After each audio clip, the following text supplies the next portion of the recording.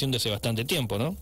Exacto. Bueno, buenos días. ¿Cómo les va? Eh, sí, eh, bueno, lo he tomado muy bien, muy contento, porque bueno, obviamente que es, eh, es un paso importante en la carrera de, de, los profesionales que trabajamos en el Departamento General de Irrigación.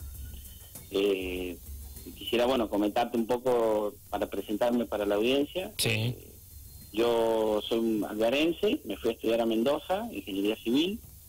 Eh, allí, bueno, una vez graduado, empecé a trabajar en la sede central en el año 2008 y ahí trabajé, eh, bueno, hasta el 2017 eh, en, en, esa, en, esa, en el Departamento de Ingeniería, que en sede central, bueno, hacemos proyectos para toda la provincia, para distintas subdelegaciones. En particular para la TER había hecho, eh, eh, había participado, mejor dicho, en algunas partes de, proyectos del, del, en el canal Perrón, que está ubicado en las Malvinas. Bueno, ya en el 2017, me, ya ubicado acá en la subdelegación de la TUEL, eh, continuaba obviamente con tareas específicas de, de la TUEL, de distintos proyectos y, obras.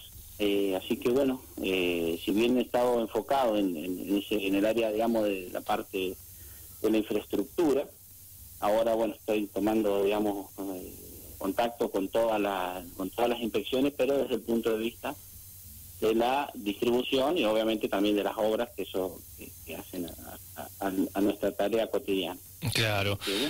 Bueno, ima imagino que uno, eh, ustedes ya nombraba, ¿no? En dónde ha estado trabajando, en las partes, ¿no? En los lugares eh, específicos, pero imagino que más allá de eso, uno siempre va imaginando, che, si yo estuviera por acá, yo haría esto, uno va teniendo como un, una visión de quizás llegando a ese lugar. Bueno, eh, ¿hay algún objetivo por allí que usted tenga ya visualizado? Sí, obviamente, sí. Eh, bueno, desde la irrigación tiene el, objetivo de, de, distribuir eh, equitativamente el agua a todos sus usuarios, cualquiera sea su índole.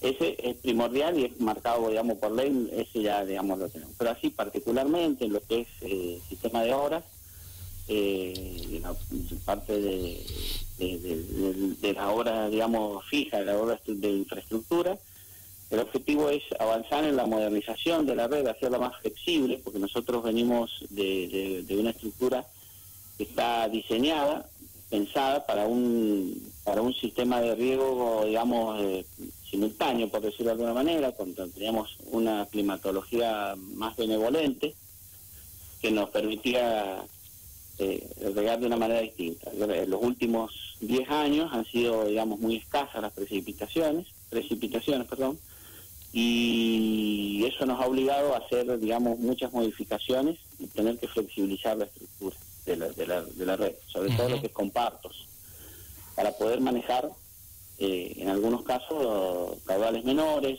eh, en otros se modificaron los tiempos, bueno, diferentes tipos de, de, de, de, tareas que hubo que realizar para poder cumplir con, con las demandas, que digamos, eh, que siempre digamos, de alguna manera son constantes, lo que nos ha disminuido sustancialmente ha sido la oferta, digamos.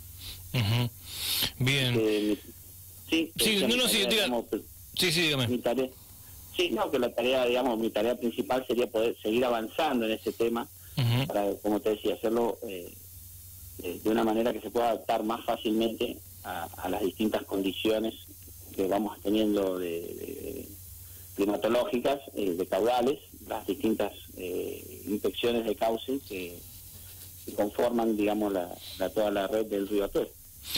Bien, hace unos días, bueno, en realidad hace más o menos un mes y algo, casi dos meses, que hablaba justamente aquí con el subdelegado de Aguas del Río Diamante y le he consultado sobre el tema de las nevadas y todo lo que había estado trascendiendo, ¿no? Con respecto a este invierno que había sido como bastante nevado y con, con una expectativa de agua, pero quizás estaba, según él me, me comentaba, era muy como en el colectivo, eh, en la gente, ¿no? Un inconsciente claro, de la gente, mira, pero no es tan así, ¿no?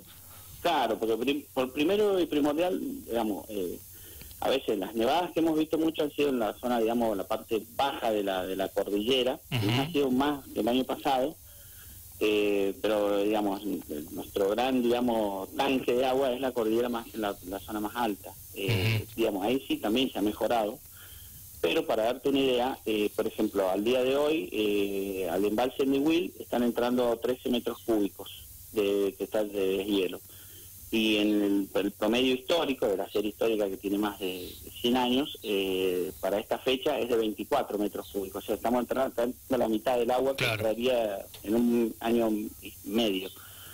Eh, de todas maneras va a ser mejor que la del año pasado, pero no sustancialmente mejor, como vos decías, ha quedado como en el imaginario colectivo que va a ser una, una gran temporada y no, no, no, no lo no estimamos que va a ser así. Si bien los pronósticos se cierran ahora en septiembre, que porque todavía tenemos posibilidades de algunas nevadas, generalmente a fines de septiembre eh, el Departamento de Gestión Hídrica de, sede central elabora todos los pronósticos para todas las cuencas, eh, porque bueno, pues tenemos la, toda la, ya la, temporada, digamos, de, nevadas prácticamente concluida. Bien, es bueno saberlo.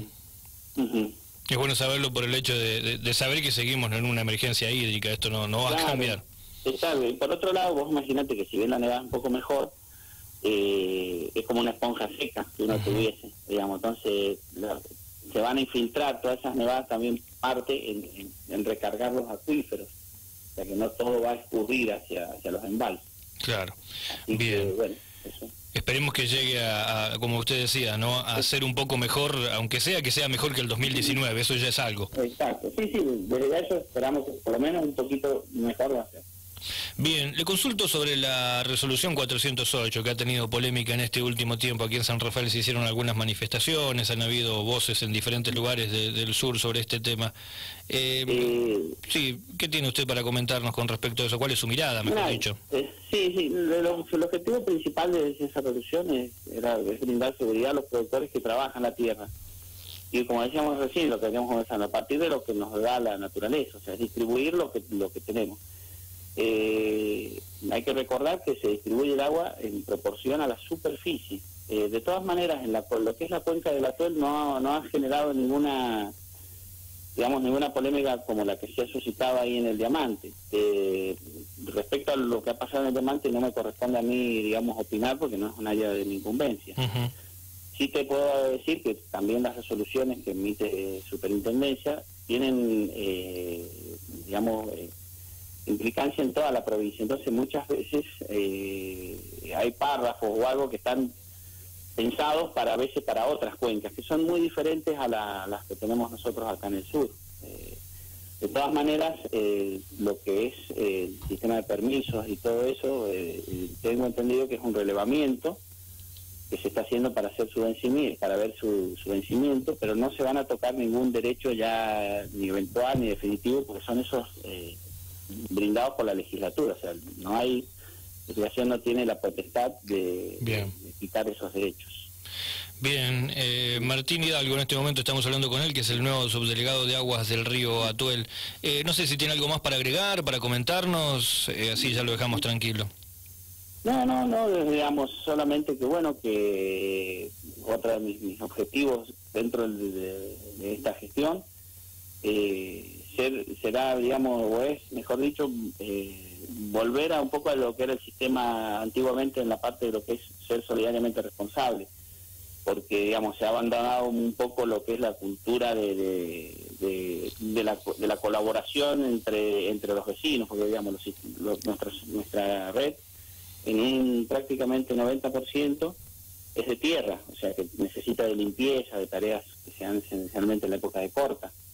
Así que, bueno, sería también eh, para mí muy importante que se, que se logre, digamos, volver un poco esa cultura y esa solidaridad o sea, entre vecinos para, para, para colaborar y que entre ellos se cuiden, digamos, su riego uno al otro. Es muy difícil porque, bueno, son tareas que dependen de las personas más que de la infraestructura, que es lo que yo venía acostumbrado a trabajar.